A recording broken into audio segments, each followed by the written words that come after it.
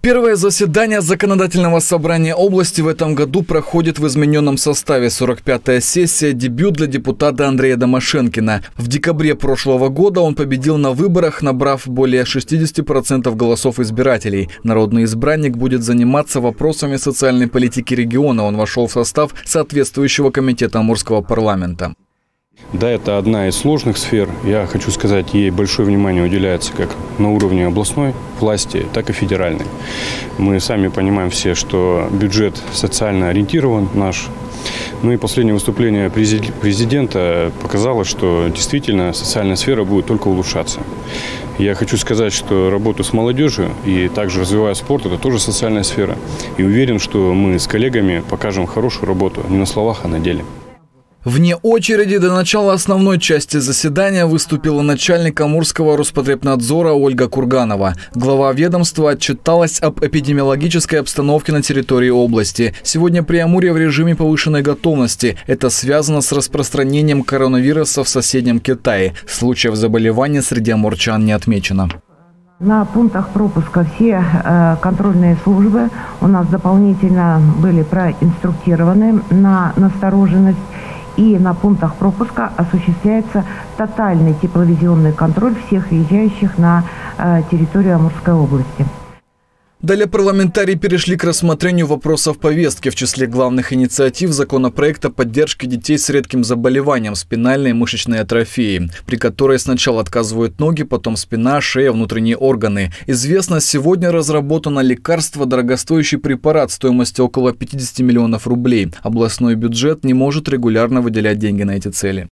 Мы предложили, чтобы их включили в федеральный список, для того, чтобы они получали данное лекарство по федеральному списку. В дальнейшем, это через год, когда они пройдут это лечение, мы очень надеемся, что лекарство изменится, то есть нужна будет совсем другая уже направление, уже нужна будет поддержка, и эти ребятишки будут здоровы.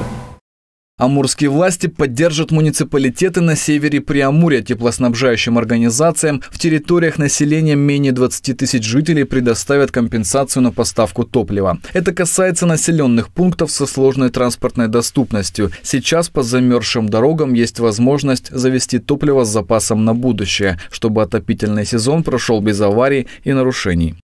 Позволим этим э, законам да, действительно обеспечить бесперебойное прохождение отопительного периода а, в северных территориях нашей Амурской области. А, то есть этот, э, хочу сказать, что вопрос э, по топливу у нас периодически даже постоянно рассматривается на заседании правительства, и именно этот вопрос у нас поднимался в декабре и просматривался, что предоставить такую возможность закупить топливо и завести его именно по зимним дорогам. В первом блоке вопросов депутаты обсудили проект закона о регулировании деятельности экскурсоводов, гидов-переводчиков. По мнению народных избранников, таких специалистов необходимо тестовать. Практика показывает, деятельность иностранных гидов в России приводит к тому, что туристы получают искаженное представление об истории и культуре страны. Выдавать лицензию на 5 лет гидам будут государственные органы субъектов. Таким образом, регион получит возможность провести отбор и отсеять недобросовестных работников туристической сферы сферы.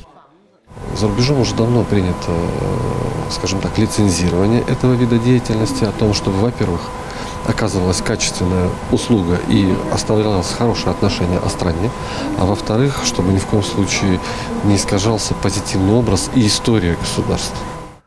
Всего в повестке 45-го заседания законодательного собрания было 39 вопросов, в числе которых также штрафы за продажу снюсов и вейпов несовершеннолетним, льготный проезд детей в период каникул, об объектах культурного наследия. В обсуждении законопроектов приняли участие все четыре политические партии Амурского парламента. В итоге большинством голосов амурские депутаты утвердили 38 законопроектов. Денис Ферденко, Андрей Цветков, Амурское областное телевидение.